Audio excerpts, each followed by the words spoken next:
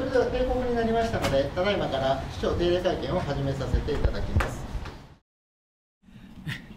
皆さんこんにちは。あ定例の記者会見にご対応いただきましてありがとうございます。どうぞよろしくお願いいたします。それではまず本題に入り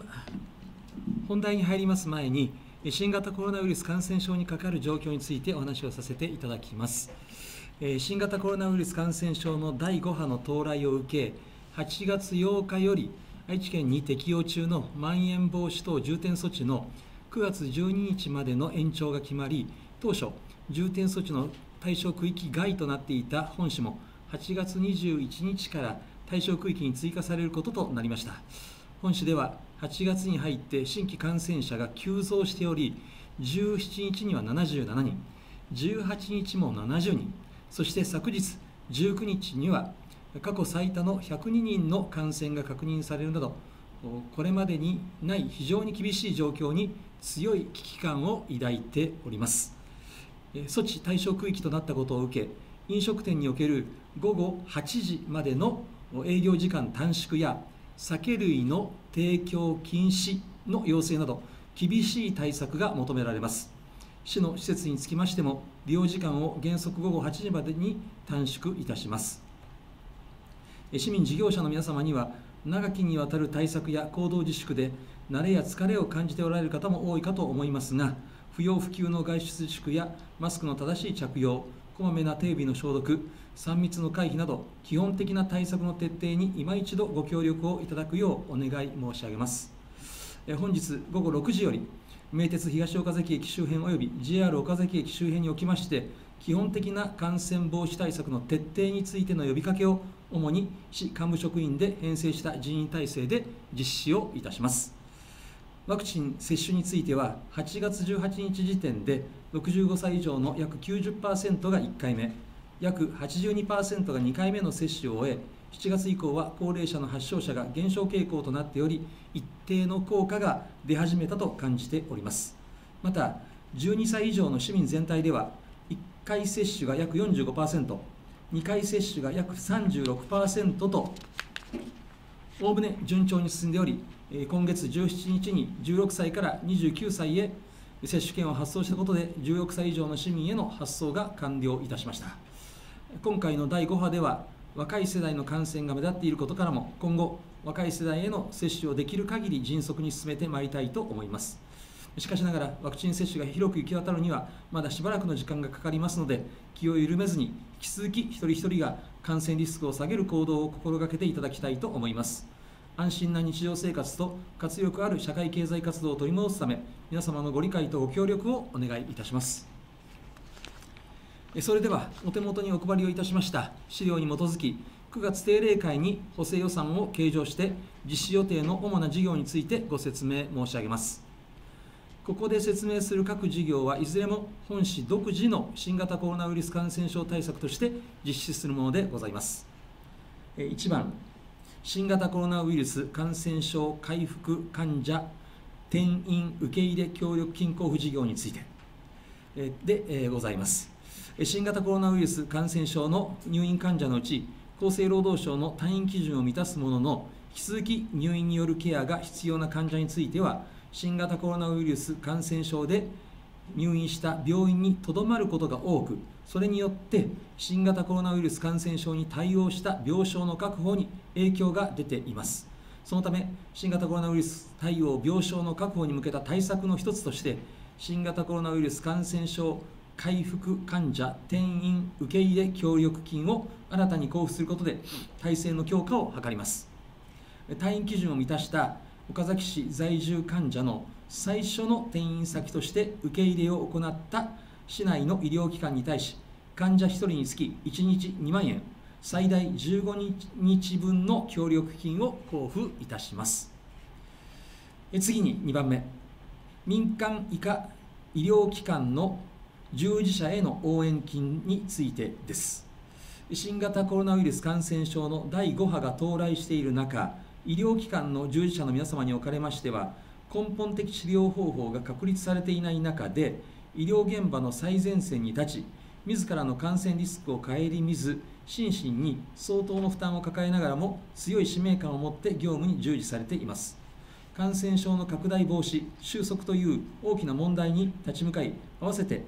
欠かすことのできない通常診療にも当たっている皆様に対し感謝と応援の気持ちを込めて応援金をお届けしたいと考えています。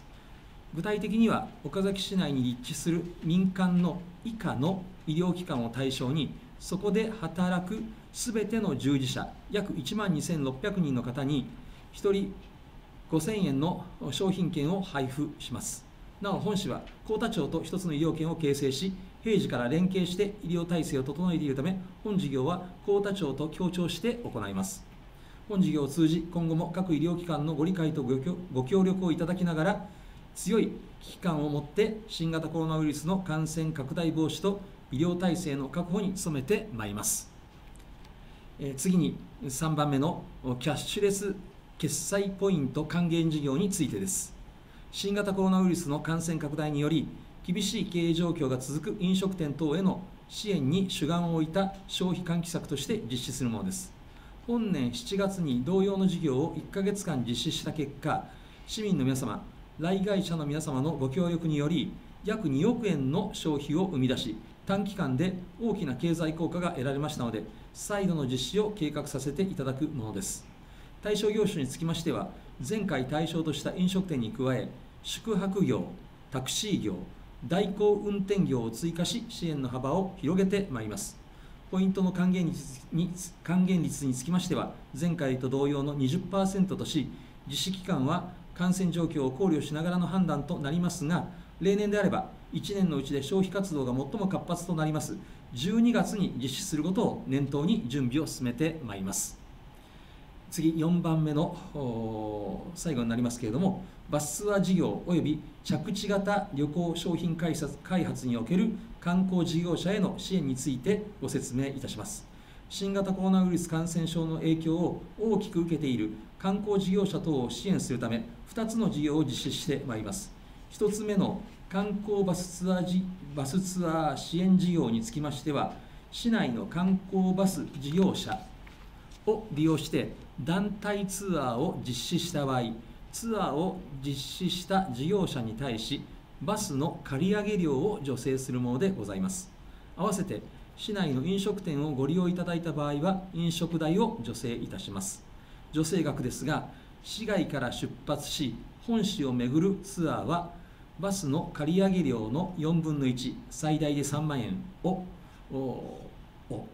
本市内から出発し市内外を巡るツアーはバスの借り上げ料の2分の1最大6万円を補助金として交付いたします。またツアーの昼食などで市内飲食店で食事もしくはケータリングをした場合その飲食代について最大1万円を補助します。事業費は総額で1000万円を見込んでおります。